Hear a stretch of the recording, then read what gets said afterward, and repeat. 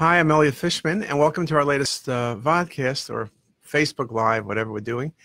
And um, it looks like I have a microphone. I do. We had to do it in a different room. We were updating computers, and they didn't get updated in time. So we just uh, Plan B, which is why we're here right now. So it's great to welcome everybody. And this is actually our uh, second uh, Facebook Live of the new year. And um, this one is, I think, entitled What I Saw at CES. So here's my badge Okay, I got official badge. You see that badge? Computer Electronics Show. So you think RSNA is big? RSNA is nothing. The CES has 200,000 people, seven or 8,000 companies. It takes all of Las Vegas. Just an amazing, amazing event. They also have really good things. Unlike medicine now, where there's all these rules, I couldn't stay last night, but I was invited to this small concert with ringside table to see Ellie Goulding and Mark Ronson. Unfortunately, I couldn't go.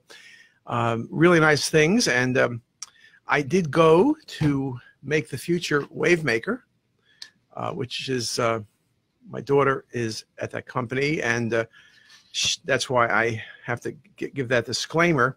But I did go to, and I'm looking at the book to some of their tours, which were incredible. Yesterday, I, for example, was my favorite tour. It was um, the one on technology. So I saw all of the new 5G, all of the monster screens, the TV screens, curved screens. You can see I posted on CTisus the curved screen from um, the screens that were from Samsung, 213 feet.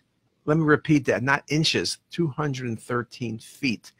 And it was so real that I started getting motion sickness when they were showing things on the screen. I um, went on the first day to a session where um, they had three incredible speakers that hopefully I'm going to get to come to Hopkins.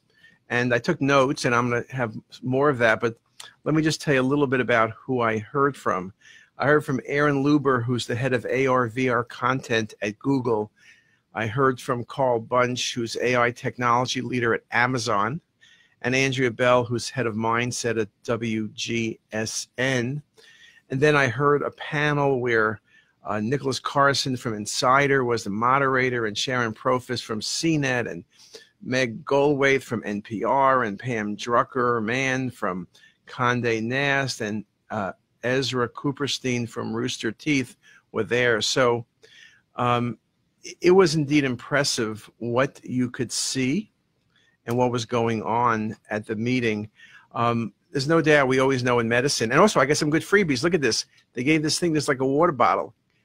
Was it Care, Create, Grow? That's also from Wavemaker. It's really good. And then they gave you this free doggy bag. Look at this great bag you got. And what do you get in there? There was a candy bar, but I think I ate that already.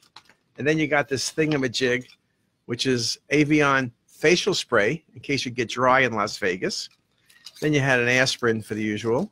You had some vitamin C because you probably slept like 20 minutes. You had Altoids in case you got bad breath. And what else you got? Purell because you never can be clean enough. So that's the junk I got. But I think the biggest thing I got was a really good look at what is coming. And, and I did take a lot of notes. Unfortunately, I've noticed my notebook I have, I was sharing a room with my daughter, which means she was paying for it, her company, and I just took the other bed. But somehow or other, I took her book. So I got all her ideas she'll probably kill me because uh, she's probably looking for that book. But um, I, I think that the things I saw, one of the biggest themes, and I think a number of people touched on this.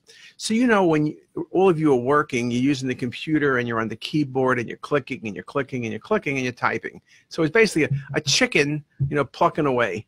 And some people are better chickens than others. They can pluck really fast, and some people, like me, are very slow.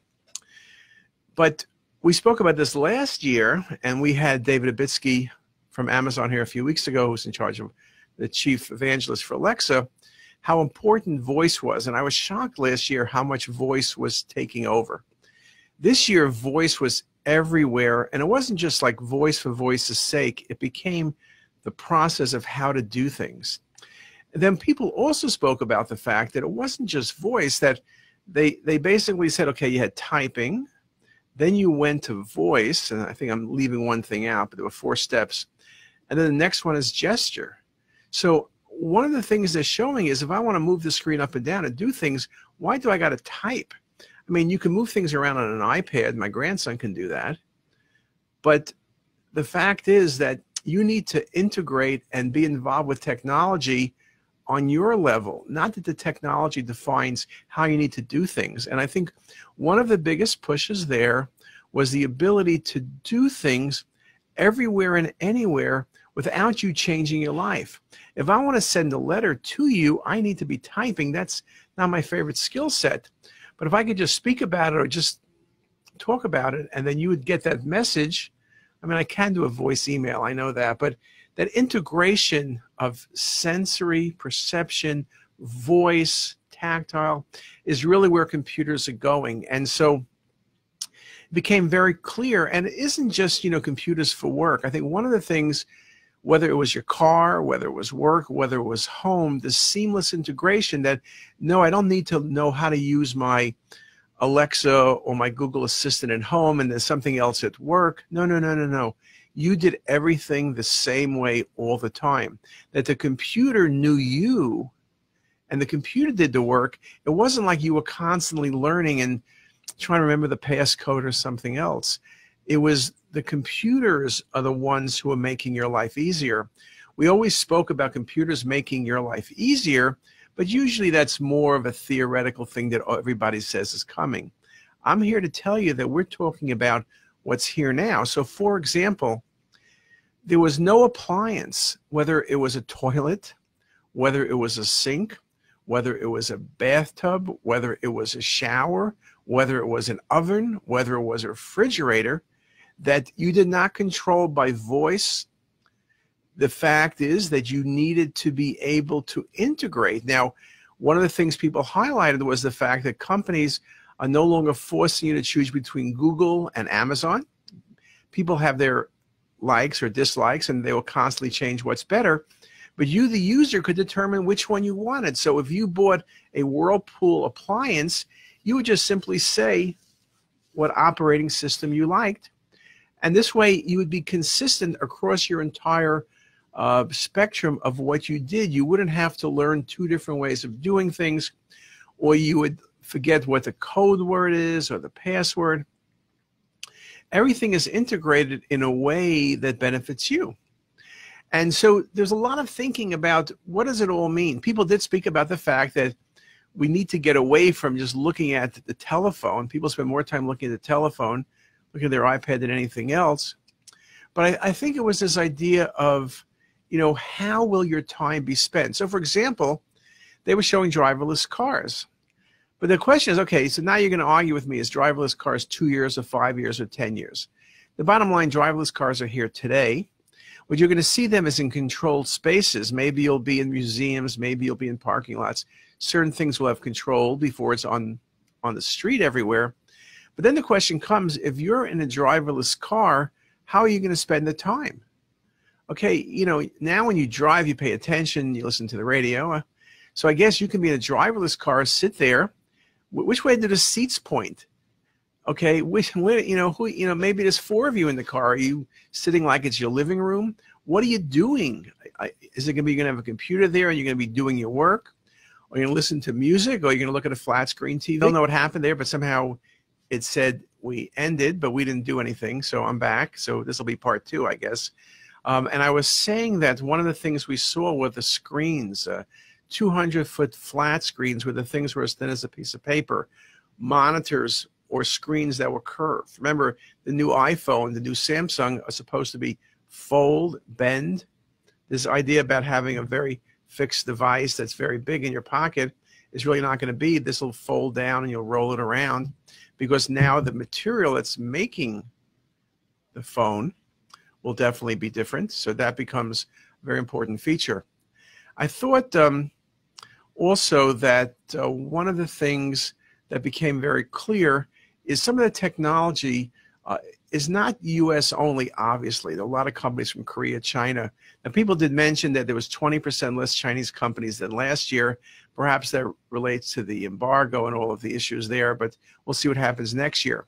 But there were certain things that were amazing. So, for example, you know, um, there are many programs that do translation. Google has an excellent program. So if someone's speaking in Chinese, it will basically say in English what they're saying, and then you could understand. But remember, there's a delay, and sometimes the words aren't translated correctly, but you can have a better idea than me trying to understand Chinese or Japanese or anything else. But Alibaba was showing in their booth that you and I, so I could have a conversation with someone I know in China. They're speaking Chinese. I'm speaking my version of English, and we're on a phone. So there's no delay. We're talking to each other. I'm speaking English. He's hearing Chinese. He's speaking Chinese, and I'm hearing English. That was extremely impressive because now the ability to, you know, analyze data, think how much data you have to learn, how quickly you need to be processing what I'm saying now and translating that into Chinese as I'm talking you know, that's something you think about at the United Nations. People wear headsets, one person speaking one language, and people are translating the language. But that's a person of a very highly skilled person who's sitting there with you alone. Now I'm saying all of us can have that same capability. So Alibaba was there, very, very impressive. Uh, LG, the monitors was so impressive. Sony, Intel, uh, showing uh, Intel was actually showing a lot of medical stuff, the OR of the future where the interaction between the surgeon, the patient, the data all became very, very critical. We also saw driverless cars, and of course, NVIDIA was part of them. Um, and that became very, very important of what NVIDIA is doing and how they're moving forward in that area. But there were a lot of other companies. Bosch was one of them, uh, BMW, Porsche. So a lot of other, I think Lamborghini was there, some fancy cars. And I'll put up some more of the posts um, over Facebook over the next couple days. Um, also, to give you some summaries of what else was seen there. I thought that part was very, very critical. I mentioned in the beginning, and I'll just reinforce that when I listened to the speakers, uh, it was very clear that every industry is affected by AI. And really, you know, we talk about AI in medicine and how it's going to impact things and whether or not you need to be worried about it. I don't think you need to be worried, but you need to learn how to use it, integrate it into our practice because AI is coming and it's coming faster than you think. And so, for example, whether you're a company like Tiffany's that sells jewelry, how do you market to the newest customers? How do you explain things? It's not just like the old days where a store like Tiffany's might have all their diamonds and jewelry on racks, and then you would look at things. Not that I went to Tiffany's that often, but you would look at things but now people want to know more about it. So you can use apps where if you're looking at a ring and a diamond, you can know where the diamond was cut, who, what country is from, what the, the perfection is, what the issues are, everything else. And these days, consumers really want to know a lot more. And so AI is allowing you to provide that information on a constant fashion. People talk about, you know, marriages of companies so they were talking about how uh, I think it was Whirlpool, one of the other companies that makes stoves, bought a company that makes recipes.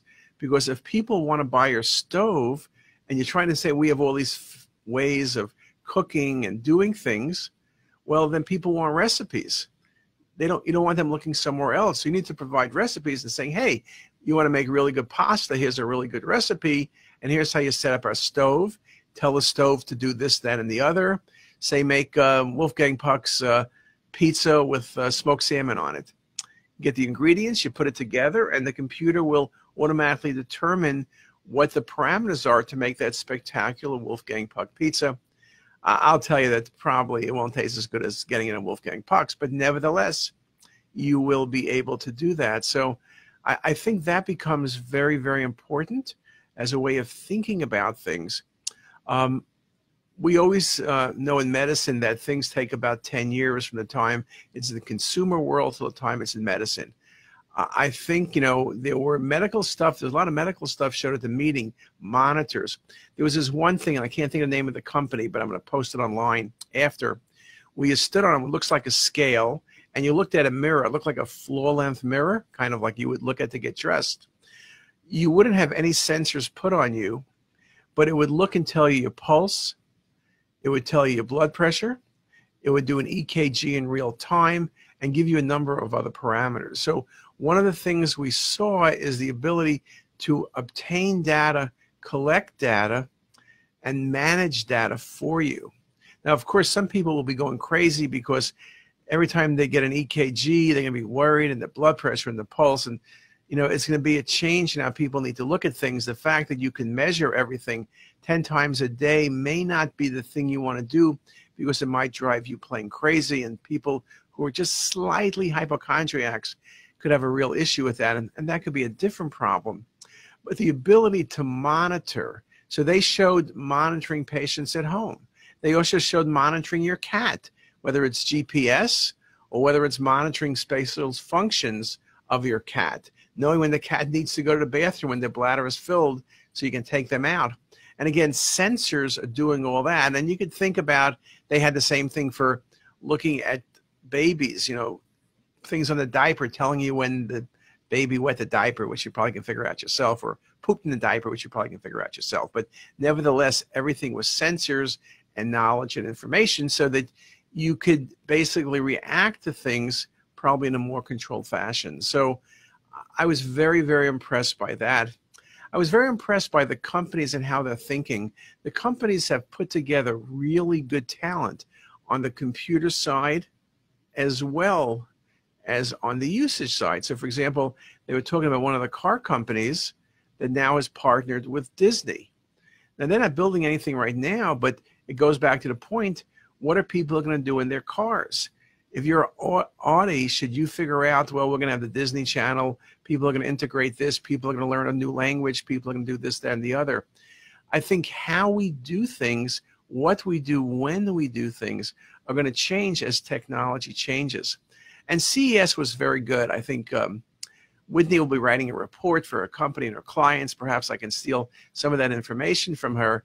But I think regardless, um, you can look online. I'll put stuff on CTisus, but just look up CES. There are many different lectures and talks and things that were shown. Many different uh, articles speak about this, and uh, so um, anyway, uh, those are all important things to remember.